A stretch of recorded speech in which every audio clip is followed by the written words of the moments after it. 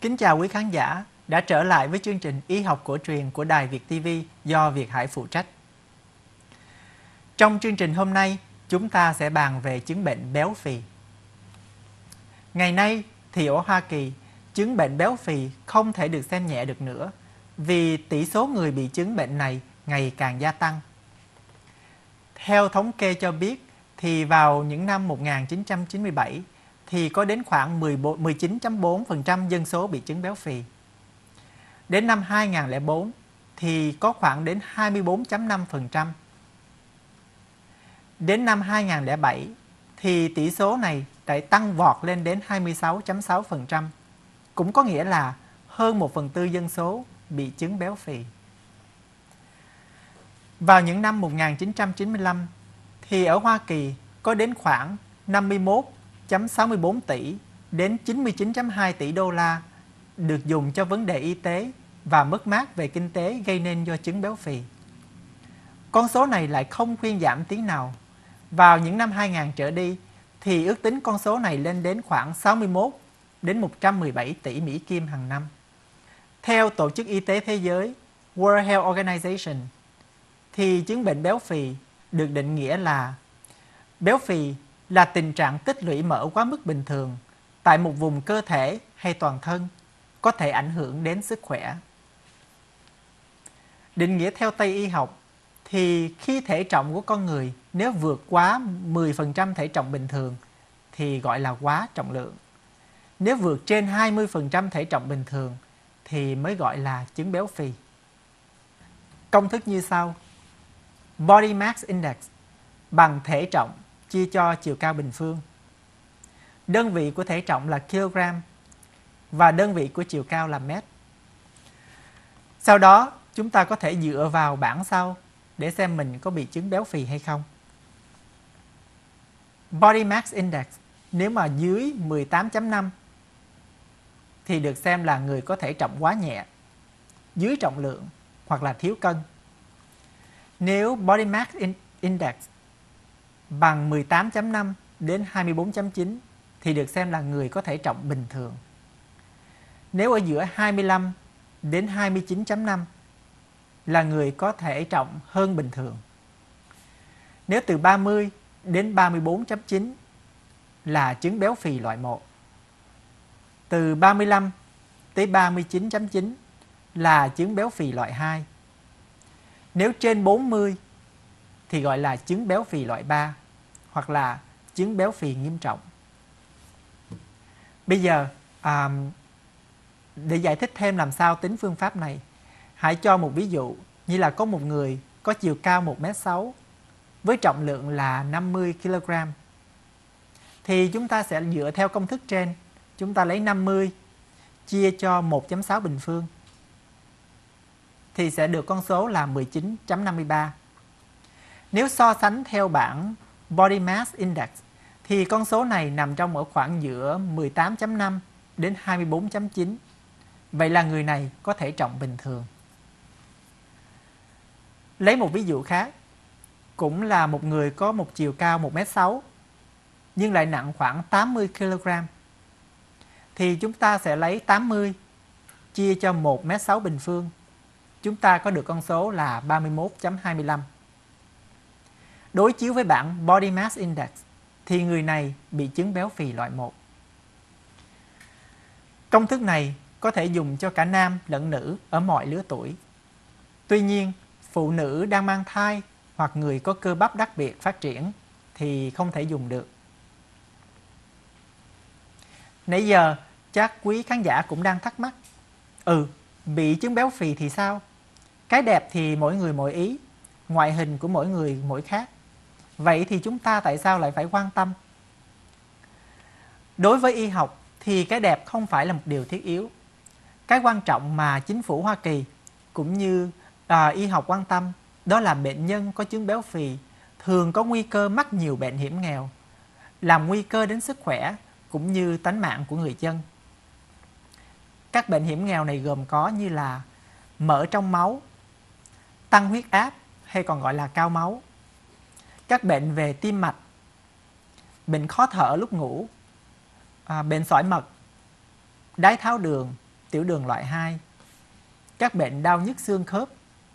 Ngoài ra, còn có thể gia tăng khả năng bị các bệnh ung thư như là ung thư tế bào màng trong tử cung, ung thư gan, ung thư tụy tạng, ung thư ruột già. Có nhiều bệnh nhân đến phòng mạch của tôi thường than phiền rằng tại sao trong, trong gia đình của mình không có ai bị chứng béo phì hết nhưng mà mình lại bị. Lại cũng có gia đình, cả gia đình ai ai cũng bị chứng béo phì trừ một vài người mà thôi. Có người thì chỉ cần ăn tí xíu thì lại dễ bị lên cân. Cũng có người như tôi chẳng hạn, cứ ăn vặt suốt ngày nhưng mà vẫn bị gia đình chê là gầy như cái tâm. Khó hiểu quá phải không quý vị? Vậy thì những nguyên nhân nào lại gây nên chứng bệnh này? Các khoa học gia ngày nay cho rằng bệnh béo phì có nhiều nguyên nhân. Thứ nhất là yếu tố di truyền. Thứ nhì là có thể do ăn nhiều thức ăn có dầu mỡ.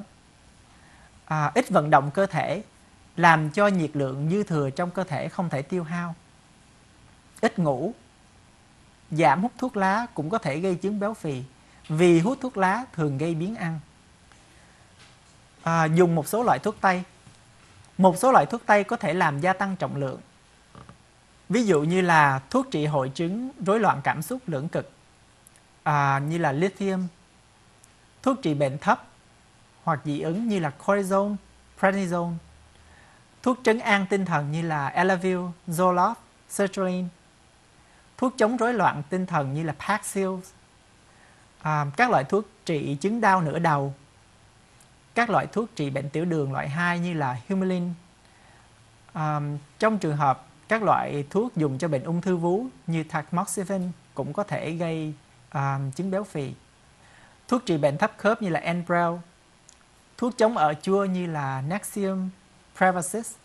Cũng xin nhắc thêm là thuốc Prevacid trong vài trường hợp thì lại gây giảm cân cho một số bệnh nhân. Tóm lại là tất cả các loại thuốc vừa nêu trên tùy theo cơ thể của mỗi người. À, có người thì lại giúp cho giảm cân, nhưng mà một số người thì lại gây nên chứng béo phì. Ngoài ra, một số bệnh à, cũng có thể gây chứng béo phì, ví dụ như là hội chứng Kha Hưng. Đây là một bệnh do lượng hydrocortisone bài tiết quá nhiều làm cho mặt, cổ và cơ thể phì đại, nhưng mà mỡ tứ chi lại không phân bố đều. À, bệnh khác như là bệnh tụy. Đây là một căn bệnh do chất insulin bài tiết quá nhiều, làm cho toàn, toàn thân béo phì. Một bệnh khác là công năng tuyến giáp trạng giảm, làm cho bệnh nhân bị béo phì và phù nề kiểu tim niêm, à, niêm dịch. Tóm lại thì yếu tố di truyền, môi trường xung quanh, thói quen ăn uống, phản ứng phụ của vài loại thuốc tây, trạng thái tâm lý vân vân đều có thể gây nên chứng béo phì. Nãy giờ chúng ta đã bàn sơ về về chứng béo phì theo cách nhìn của y học hiện đại. Vậy theo đông y học thì chứng béo phì lại có gì khác? Từ những hơn 2.000 năm trước, chứng béo phì đã được nhắc đến trong sách Hoàng đế nội kinh. Theo sách này thì chứng béo phì được chia làm ba loại: cao, chỉ, nhục. Trong sách Hoàng đế nội kinh Linh Khu, chương về khí thất thường thì hoàng đế đã hỏi bá cao như sau. Hà dĩ độ tri kỳ phì xấu có nghĩa là làm sao để am hiểu được vấn đề béo và gầy. Bá Cao mới đáp rằng nhân hữu phì, hữu cao, hữu nhục. Có nghĩa là con người béo được chia làm phì, cao, nhục ba loại. Hoàng đế lại hỏi tiếp biệt thử nại hà có nghĩa là làm sao mà phân biệt ba loại béo phì đó. Bá Cao mới trả lời rằng, Quắc nhục kiên bì mãn giả phì, Quắc nhục bất kiên bì hoãn giả cao, Bì nhục bất lương ly giả nhục. Có nghĩa là thịt chắc dày da đầy đặn là mỡ, Thịt không chắc dày da nhão là mỡ loãng. Da và thịt gắn chặt với nhau không tách rời là thịt. Người kiểu mỡ loãng, da thịt phần bụng thì nhão, mỡ béo xa xuống. Người kiểu loại thịt thân dưới đều to béo. Người kiểu mỡ đặc thì mỡ tuy nhiều nhưng thân lại không to béo. Theo Đông y thì chứng béo phì được chia thành 7 biện chứng luận trị như sau. Tỳ vị khí hư, tỳ thận dương hư, can khí uất kết, can âm hư, thấp nhiệt, đàm thấp, khí huyết hư. Bây giờ chúng ta sẽ bàn thêm chi tiết về các biện chứng luận trị này. Trước tiên là tỳ vị khí hư. Theo Đông y thì tỳ thuộc về âm, vị thuộc về dương. Công năng của vị là tiếp nhận thức ăn, công năng của tỳ là vận hóa thức ăn. Cả hai cùng hỗ trợ lẫn nhau. Khi tỳ vị bị yếu kém thì thức ăn sẽ không vận hóa bình thường, gây nên chứng béo phì. Ở trên năm sàn, các triệu chứng béo phì do tỳ vị khí hư gồm có như là mệt mỏi, biến ăn, thân thể nặng nề, phù thủng, mạch trầm nhỏ hoặc là hoạt. Để điều trị, chúng ta có thể dùng phòng kỹ hoàng kỳ thang. Phòng kỹ hoàng kỳ thang gồm có các vị thuốc như là phòng kỹ, hoàng kỳ, bạch truật, cam thảo, sinh khương và đại táo. Cảm ơn quý khán giả đã theo dõi chương trình Y học cổ truyền do Việt Hải phụ trách. Bây giờ mời quý khán giả xem một số thông tin thương mại và khi trở lại chúng ta sẽ tiếp tục bàn về chứng béo phì theo phương kính của Đông y học.